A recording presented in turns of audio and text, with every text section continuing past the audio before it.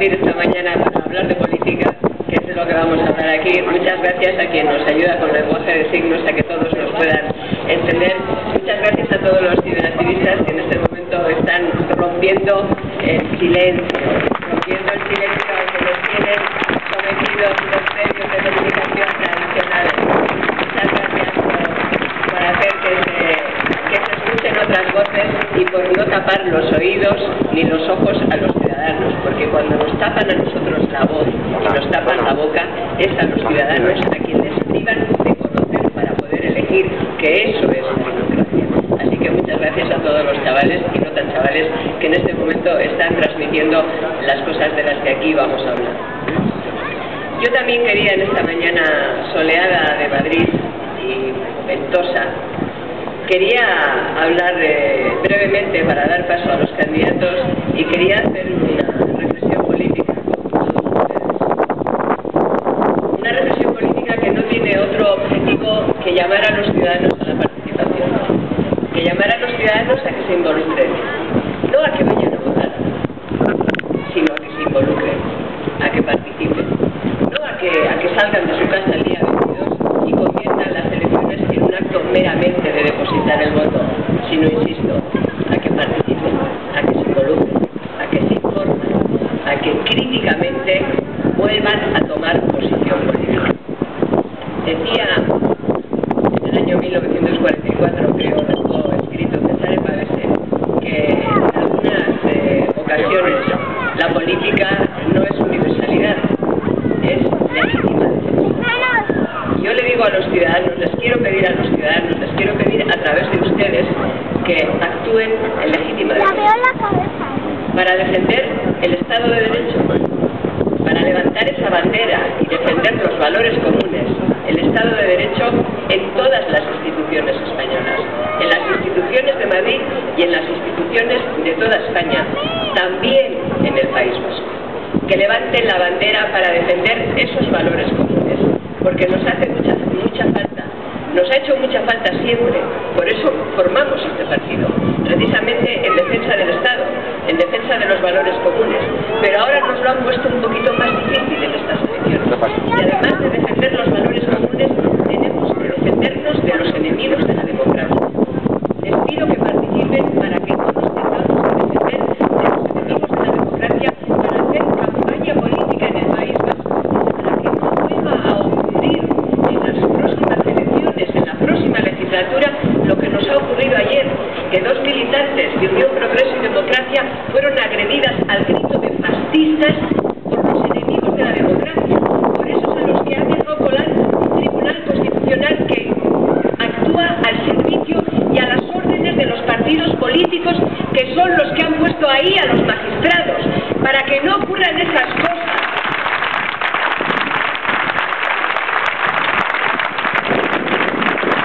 En legítima defensa, para que eso no se vuelva a producir, para que una mujer como Estíbaliz Garmendia, a cuyo marido han asesinado los que escuchar, porque hay impunidad para los terroristas, para los malos, para aquellos que les han ayudado a entrar, que no tenga que escuchar gritos ni amenazas. Les pido que se involucren, que participen políticamente, que lo hagan críticamente, que lo hagan también en defensa y contra la impunidad. Que lo hagan contra la impunidad. En defensa de, de, de, esa ciudadanía que exige a quien se equivoca que asuma su responsabilidad.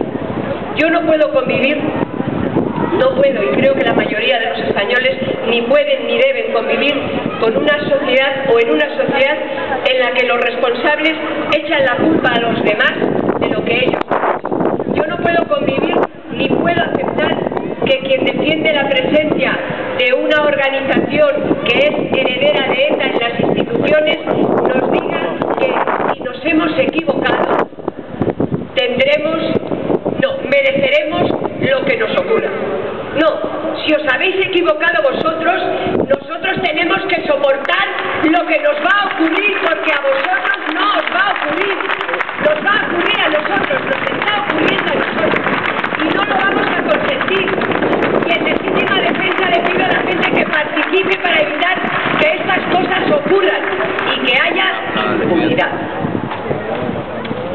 legítima defensa para defender la separación de poderes, como digo, para que haya una justicia independiente, para que los magistrados respondan al criterio de la ley y no de quien les ha puesto, para que el Consejo General del Poder Judicial esté compuesto por vocales que no obedezcan consignas de los partidos políticos, en defensa de la separación de poderes, que es básico en cualquier país democrático en legítima defensa, en defensa de la igualdad.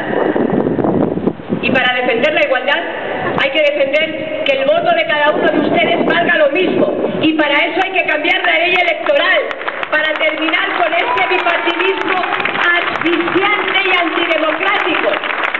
Para eso hay que cambiar la ley electoral, para que su voto valga lo mismo que el de cada uno de sus conciudadanos, al margen de lo que voten al margen de las partes de España en la que vivan.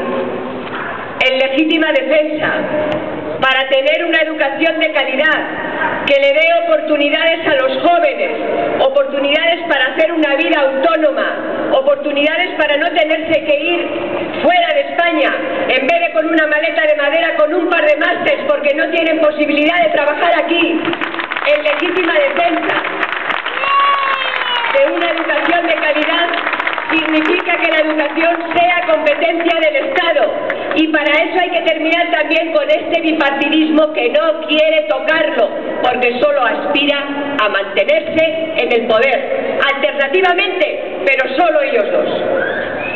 En legítima defensa también, para tener unas leyes laborales justas, para no pasar la vergüenza de tener que escuchar que el representante español en el Banco Central Europeo dice que la ley, las relaciones laborales en España son no solo las más ineficientes, sino las más injustas de Occidente. Las votaron los dos, los dos del bipartidismo, el PP y el PSOE, los dos. Hemos de actuar en legítima defensa también contra la impunidad, contra esa impunidad que permite que lleven imputados en las listas todos los partidos políticos. También en legítima defensa contra la corrupción política, que es la peor de las corrupciones. Si no lo hacen ellos, digo los partidos políticos, tenemos la oportunidad de hacerlo nosotros. Quitar a los imputados de las listas quitando a los partidos que los llevan. Es nuestra obligación, es nuestro derecho, es nuestra oportunidad. Amigos, decía antes Álvaro, esto es difícil, y hacía un discurso, en fin, a la resistencia, llamando a la resistencia, y además presumiendo de que era difícil. Pues claro que es difícil. Si no fuera difícil, más necesario que difícil, no estaríamos aquí. Cada cual estaría tomándose un vermú, dando un paseo por el parque y nosotros haciendo otras cosas, que tenemos otra vida y nos gustan hacer otras cosas también.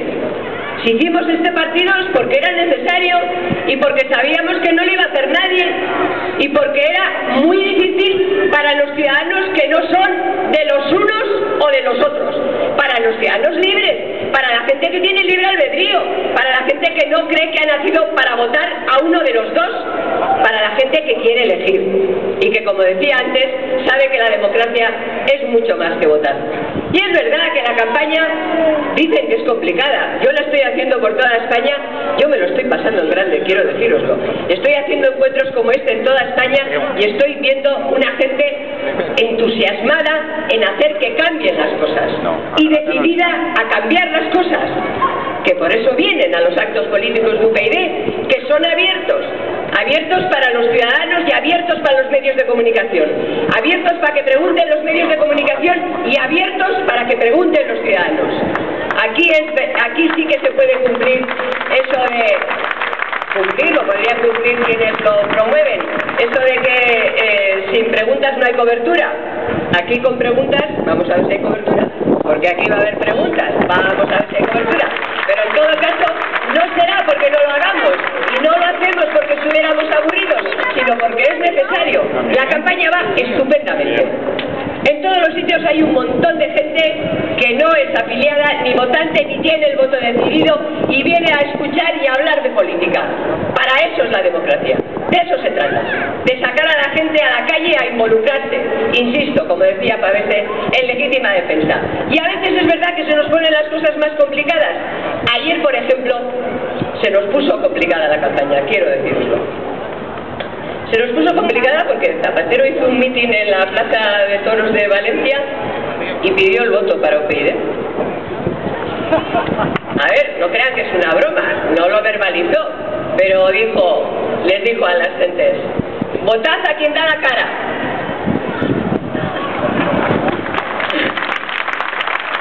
Y después, por si alguien tenía alguna duda, les dijo, o sea, votad a quienes no echan la culpa a los demás. Decidme, el que dice que no ha hecho las políticas antisociales de toda la historia de la democracia y que le echa la culpa siempre a quien pasaba por allí.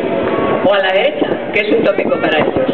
Bueno, se nos puso complicado porque claro que, el presidente del gobierno pide al voto para nosotros es verdaderamente hacernos una faena. O sea que vamos a hacer, por favor, como que no lo ha hecho. Y vamos a seguir diciéndole a la gente que se involucre, que participe, que lo haga con alegría, con espíritu crítico y, e insisto, en legítima defensa. Muchas gracias a todos.